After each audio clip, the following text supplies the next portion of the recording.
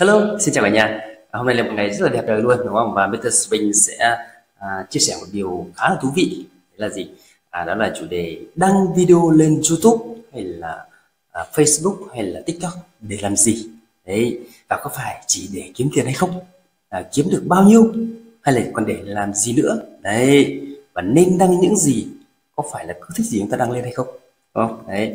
Và ngay sau đây thì Mr. Spring sẽ share cho mọi người xem những video mà à, những thước phim mà Mr. Spring à, đang đăng trên Facebook hay là trên YouTube để mọi người có thể tham khảo đấy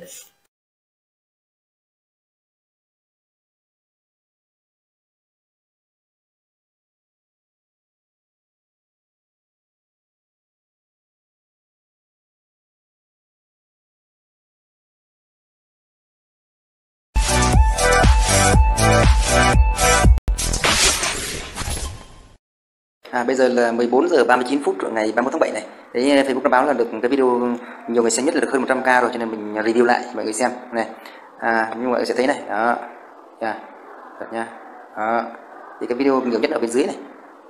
Dưới cùng, dưới cùng, dưới cùng. Đó. Chưa đến, chưa đến, chưa đến.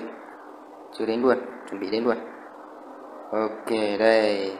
À, mới giờ nó đã được một à, uh, 100k và được 533 lượt xem rồi đấy. Nhưng mà rất là nhanh. Mấy lúc nửa trưa mới được có 99k thôi. Bây giờ nó nhảy lên 100k rất là nhanh đấy. vậy mọi người có thể thấy là gì uh, mình làm những video về về dạy học thì lại không có người xem bằng những video mà mình làm nông dân đúng không? Đó. Những video mà dạy học thì không view không cao bằng này đây.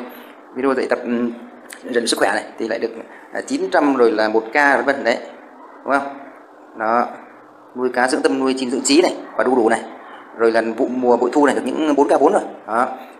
Rồi là ừ, video mà làm về về cây cối thứ thì lại view cao hơn là video mình làm dạy học. Nên là khả năng mình sẽ phải chuyển nghề thôi. Chứ tiếp tục nghề dạy học là nguy hiểm rồi. Có ai học đâu nhỉ? Toàn có là, là gì đấy? Những người thích làm nông dân cao cấp cơ đúng không? Ok vậy nhé bây giờ mình sẽ chuyển sang review cái kênh youtube của mình cho nó từ bữa giờ nó update được bao nhiêu này ta sẽ cùng xem kênh youtube nhé eSpring channel này eSpring channel này mọi người nhé.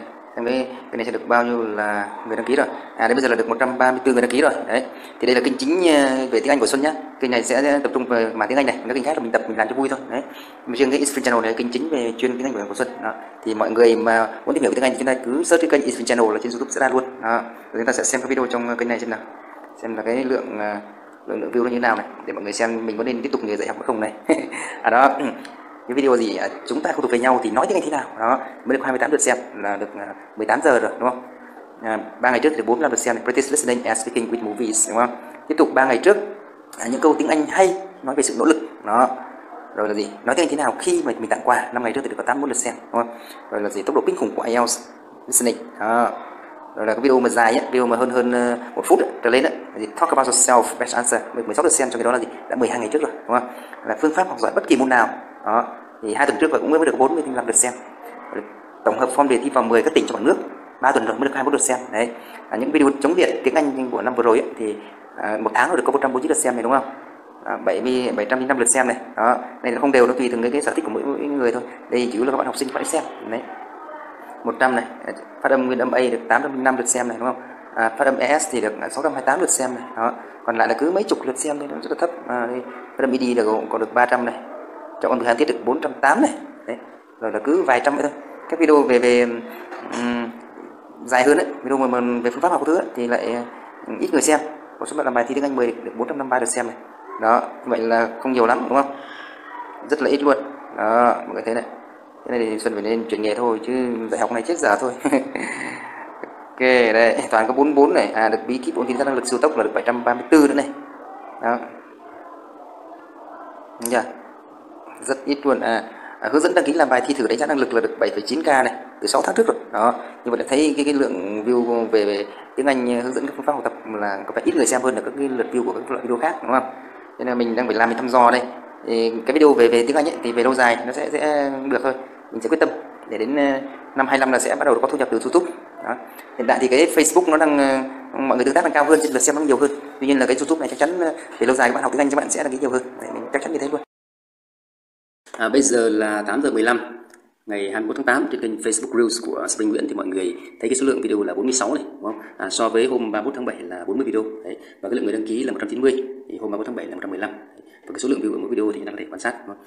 cái video về các lắp phu thê thì mình mới đăng được vài phút thôi thì lượng view chưa nhiều đúng không à, nhưng mà chúng ta cũng có thể thấy là gì à, những video mà nó nghiêng về giải trí ấy, mang lại giá trị niềm vui ấy, thì cái lượng view cao hơn nhiều so với những video về chuyên môn đấy. mọi người có thể thấy này đúng chưa đó à, những video về mình làm về chuyên môn về dạy học ấy thì à, đây là lần và cái, cái mẹo làm bài thoát điểm liệt năm 22 thì nó theo cái mùa thi cho nên các bạn xem ít thì chúng ta cũng dễ hiểu. Đó. Đúng chưa? À, đặc biệt có một video về cái quả mãng cầu chín. Nhưng ta thấy lượt view là hôm 31 tháng 7 thì mới được khoảng hơn 100 một xíu 100 lẻ mấy ngàn lượt xem. Đấy. Và đến hôm nay thì nó đã tăng lên tới 180 nghìn hơn 180 lượt xem rồi. Như, như vậy là gì? Mình cần mất cả mấy tháng trời để có thể lên được một trăm k lượt xem. Đấy. Nhưng mà khi đã tăng được cái sự tương tác rồi thì chỉ cần được khoảng vài tuần thôi là cái lượng view nó đẩy rất là nhanh. Đấy. Còn đối với những người nổi tiếng này người ta chỉ cần hàng tiếng hàng ngày thôi là nó có thể đẩy lên rất nhiều lượt view đấy. Thì đối với mình đây là cũng là một thành quả rất là tuyệt vời. Đấy. mặc dù nó chưa phải là to tát gì đối với những người khác đối với các kênh khác. Đấy. Và mình thì mình không đi so với họ mình chỉ so với mình của ngày hôm nay thôi so với ngày hôm qua để mình, thì mình thấy mình tiến bộ và mình lấy động lực mình làm việc. Đấy. Và như vậy là gì? À, không phải lúc nào chúng ta cũng có thể tạo ra nhận được những video mà nó, nó có triệu view được đúng không? Tuy nhiên là chỉ cần chúng ta gì quyết tâm và chúng ta không ngừng sáng tạo thì chắc chắn sẽ là thành quả. Đấy. À, những cái video về quả mãng cầu chín đấy đúng không? Đấy, thì mọi người xem là gì đây là ra thăm vườn để mọi người thấy tuyệt vời không? Đó sân đất này. Đấy. Bất khách ừ. thì video này là mình thì mình chỉ tình cờ mình đi thăm vườn thì mình gặp được mấy quả mãng cầu chín đấy thì mình quay lại mình dựng thành video đúng không? À, nhưng vậy là gì mình cũng rất là bất ngờ là nó lại thu hút khách lại thu hút được xem rất là cao lại cao nhất trong tất cả video mà mình đăng lên. Đấy đúng chưa? Và trong quá trình mình làm việc thì chỉ cần một đến hai video như vậy thôi thì Facebook người ta sẽ đẩy cái cái, cái lượng tương tác của kênh lên rất là cao đấy ở khắp các vùng miền luôn đấy và dần dần sẽ có nhiều người biết đến kênh của mình theo dõi kênh đúng không và như vậy thì cái lượt view nó sẽ tăng vọt lên và chúng ta sẽ có cơ hội chúng ta đủ điều kiện chúng ta có thu nhập từ Facebook đấy cũng như là cái kênh kênh YouTube đúng không À, như vậy là mọi người cũng có thể thấy sơ qua được những cái gì mình đang làm đúng không? Bây giờ thì mình sẽ chia sẻ cụ thể hơn để mọi người hiểu rõ hơn mình mục đích đăng và những nội dung cần đăng và nên đăng lên cả ba kênh. Ok. À, thứ nhất đấy là gì? À, cái mục đích của việc đăng video lên Facebook và YouTube hay là TikTok ấy, thì là gì? À, thứ nhất là chúng ta có thể à, lưu giữ những cái khoảnh khắc đáng nhớ. Đấy, yeah. à, Facebook, YouTube và TikTok là ba nền tảng mà chúng ta có thể up được cả một núi những cái video mà chúng ta không lo hết dung lượng. Đấy. À, sau 10 năm, sau 20 năm hay là sau 30 năm nữa đúng không? Chúng ta có thể gì? À, có những kỷ niệm ùa về đúng chưa? Đấy. À, chúng ta có thể giật mình tỉnh lại mình nhớ lại thời xưa của mình nó gì Ờ, ôi thời của anh liệt nay còn đâu ví dụ thế Đấy, đúng không ạ? Rồi mình tiếp tục là gì? Ừ, ngoài cái việc lưu trữ ra thì chúng ta có thể gì? À, đưa những up những video về chúng ta chia sẻ những cái niềm vui đúng không? À, có thể là những cái video đôi khi có thể là chia sẻ những nỗi buồn vai đó đấy dù vậy ta nói rồi đúng không? À, niềm vui mà được chia sẻ thì nó sẽ được gì? Nhìn đôi đúng không? Và cái cái nỗi buồn mà được chia sẻ thì nó sẽ gì? Nó sẽ giảm một nửa dù vậy Đấy, à, cái thời đại 4.0 rồi đúng không? À, nó vô cùng thuận lợi để chúng ta có thể chia sẻ cho cả thế giới luôn. Đấy, về cái niềm vui trong cuộc sống. À, giúp cho mọi người có thể có cái cái nhìn nó lạc quan hơn đúng không? À, biết vượt qua khó khăn thì cuộc sống nó sẽ ngày càng tốt dần đi. À, tiếp theo chúng ta có thể chia sẻ những cái bài học về cách kiếm tiền này đúng không? Bài học về làm người những mẹo vật hàng ngày để gì?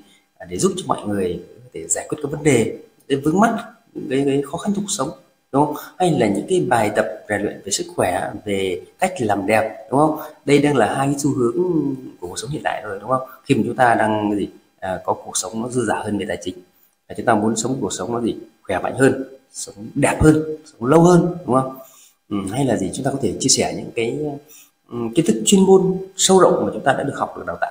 Đấy để, để giúp ích cho các em học sinh sinh viên rồi là à, bất kỳ những người nào mà người ta có nhu cầu liên quan đến công việc và trong học tập đấy. À, mỗi người chúng ta có những thế mạnh riêng và chỉ cần chúng ta chia sẻ những cái gì mà có giá trị đấy cho cộng đồng thì chắc chắn thì sẽ được cộng đồng đón nhận và mình sẽ trở thành những người có ích cho xã hội. Chúng ta không phải bó hẹp trong một cái không gian nào cả đúng không? Mọi người có thể biết đến. Ok. Chắc chắn là chúng ta sẽ thấy hạnh phúc khi mà chúng ta có thể à, giúp ích được cho cộng đồng đúng không? Chỉ cần một comment một bình luận đúng không? Một lượt like một lượt ừ, sub. Đấy mình sẽ rất là gì? Thấy vô cùng hạnh phúc luôn. Rất là biết ơn. Đó. À, có những video mà xuân được nhận được những bình luận mà nó vô cùng cảm động. Chẳng hạn như là hai cái bình luận dưới đây mọi người có thể xem nhé ngay, ngay dưới đây thôi. À, mình đọc thế này mình cảm động lắm chứ đúng không? Đó. Các bạn họ à, ta ta nhìn thấy cái comment của các em ấy. Mình đọc như thế làm sao mình không không vui được không cảm động được đúng chưa? Đấy. Cho nên là gì? Mọi người đừng có sợ là video không hay hay là cũng đừng có sợ là mình không biết làm. Đúng chưa? Ban đầu ai cũng như vậy. Chỉ cần chúng ta muốn thì chúng ta sẽ gì? Sẽ cách để làm. Đấy. và mọi người có ý định thì chúng ta cứ mạnh dạn lên, cứ tự tin lên. Đấy. Ông cha ta nói rồi, ăn từng đi từng bước. Có ai sinh ra đã biết bò đâu. Chúng ta phải vấp ngã sập mặt luôn đấy nhỉ? Đúng chưa? Có ai nhảy xuống nước là đã biết bơi đâu. Đúng không? Không uống dăm ba ngụm nước ao mới là lạ đấy đúng chưa hay là gì? Um, ngựa đi ngàn dặm cũng phải bắt đầu từ những bước đi đầu tiên. Đấy phải không? Chúng ta quyết tâm chúng ta sẽ làm được thôi. Và chúc cả nhà thành công. À, xin mỗi người một like và một share một sub nếu như mọi người chưa đăng ký kênh. Cảm ơn cả nhà. Bye bye.